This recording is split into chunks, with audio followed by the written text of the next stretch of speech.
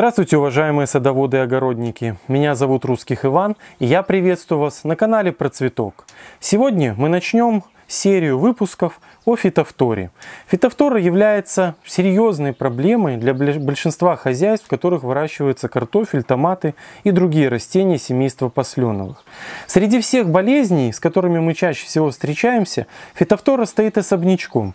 Дело в том, что фитофтора является не совсем грибом, а у нее есть, как у живого организма, черты как грибов, так и простейших. На самом деле, несмотря на то, что систематики выделяют классы живых э, организмов, группируют э, виды в определенные царства, царство растений, царство грибов, царство простейших, царство животных и так далее, а есть всегда организмы, которые занимают промежуточное положение, которые нельзя однозначно отнести к тому или иному царству. Соответственно, вот к такому типу организмов и относится фитофтора. И хотя традиционно ее зачастую в литературе называют грибом, но таковым она уже настоящим грибом не является. В ней много, очень много э, признаков простейших. В этой связи очень многие фунгициды, химические фунгициды на фитофтору не действуют, неэффективны, потому что они не действуют на те механизмы, которые они разрушают в грибах. В этой связи борьба с фитофторой является достаточно большой проблемой. Но сегодня мы не будем говорить с вами о химических мерах борьбы, поговорим о биологическом контроле фитофторы.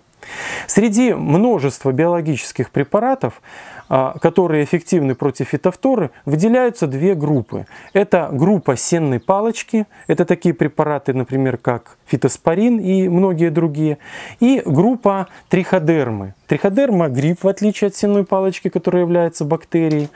И она также эффективна для борьбы с фитофторой. Фитофтора находится в почве.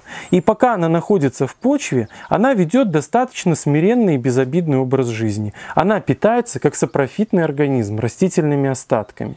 В этой связи для того, чтобы фитофтора минимально развивалась у вас на участке, надо как можно меньше оставлять там растительных остатков, тем более инфицированных растительных остатков остатков. Поэтому-то и надо уносить ботву томатов и других растений с признаками поражения из теплиц обязательно необходимо не запахивать ботву картофеля на картофельном поле. Сохраняться фитофтора в поле на почве может очень и очень долгое время. Она не является таким классическим паразитом, который не может жить без растения хозяина. Поэтому севооборот для фитофторы является практически неэффективной мерой э, контроля этого заболевания.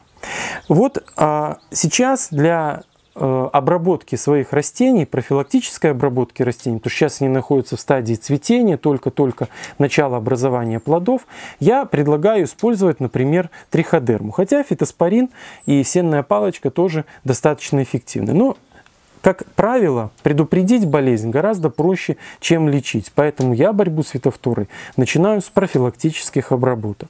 Базой для нашего а, препарата для обработки является триходерма. Я использую ту триходерму, которую вырастил самостоятельно. Я ее выращиваю на зерне. Вот э, здесь у меня даже немножечко зерно проросло, это ничего страшного, это пшеница. И вот на поверхности зерен я вижу такие уже зеленые островки начала спороношения и белый мицелий. Это значит, у меня здесь все хорошо, дрожжами не пахнет, структура достаточно рассыпчатая, значит, он еще не перестоял, не перерос. Но даже если ваша триходерма, вот такая домашняя на крупе, например, уже переросла и уже превратилась в такую клейкую массу, это ничего страшного. Возьмите, ну, меньше, чем стакан вот такой вот массы или такой триходермы, забросьте ее в ведро воды или в меньший объем воды, переболтайте как следует, дайте отстояться, процедите этот раствор, и вот это количество триходермы будет а, достаточным для разведения, до доведения до 10 литров воды и для для обработки растений, для заселения поверхности растений а, грибом триходермой. А, второй вариант для э, выращивания триходермы – это выращивание триходермы в картофельном отваре. Вот я ее выращиваю вот в такой вот бутылке, я ее наполняю наполовину и укладываю на бачок. Зачем я ее укладываю на бачок? Для того, чтобы площадь поверхности газообмена была максимальная. Я ее периодически открываю, даю возможность газообмена здесь пройти газообмен. Можно даже туда подуть, только не дуйте выдыхаемым воздухом для того, чтобы не насытить этот воздух там внутри бутылки углекислым газом, а просто набирайте в рот воздух и немножечко продувайте. Там происходит газообмен, появляется кислород для дыхания триходермы. За одну неделю триходерма на поверхности жидкости формирует очень плотный мицелий.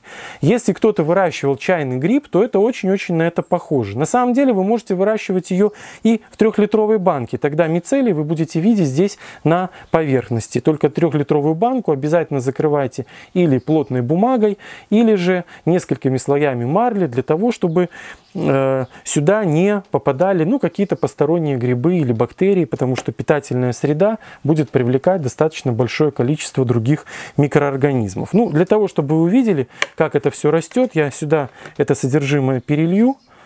Вот видите, там вот такой вот мицелий внутри. Это мицелий триходермы. Триходерма достаточно сложно спороносит в жидкости на поверхности, она формирует поверхностный глубинный мицелий. Ну и, ну, конечно, нежелательно, чтобы вот этот вот мицелий попал внутрь нашего раствора. Он будет забивать опрыскиватель, это не очень удобно. Но даже если это случится, ну просто встряхните как следует, этот мицелий разобьется на мелкие частички и, э, в общем-то, потом пройдет через опрыскиватель и поселится на поверхности растений. Для того, чтобы э, сделать раствор объемом 10 литров, мне хватит примерно одного стакана вот этого настоя триходермы. А он содержит большое количество антибиотических веществ, поэтому очень и очень ценен. Ну, а сам мицелий будет конкурировать с фитофторой на поверхности листьев, будет конкурировать с целым рядом других болезней томата, поэтому является, в общем, очень и очень ценным. Вот это я все как следует вымешиваю, взбиваю, чтобы, как я уже сказал, мицелий измельчился, не забивал опрыскиватель. И, в принципе, вот этим раствором уже можно обрабатывать наши растения для профилактики. Но я его немножечко обогащу. А, поскольку, как я уже сказал, томаты находятся все еще в достаточно активной фазе роста, я сделаю подкормку железом.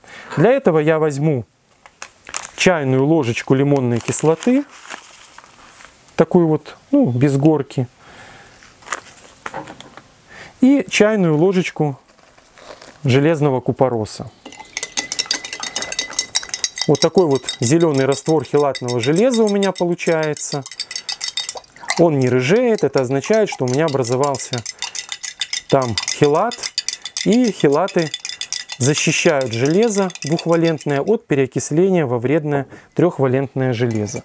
Кроме того, я сюда прибавлю глицерин и добавлю сюда борную кислоту, потому что, как я говорил в одном из наших выпусков, борная кислота не способна из одних листьев перетекать в другие листья, в более высокий ярус. Соответственно, еженедельно у меня томаты нарастают, и я их обрабатываю борной кислотой. Ну, примерно 5 грамм борной кислоты мне хватит для того, чтобы сделать мои обработки. В силу того, что я сюда добавляю железо, я аммиак сюда не добавляю, не перевожу кислоты в их аммонийные соли. Ну, ничего страшного.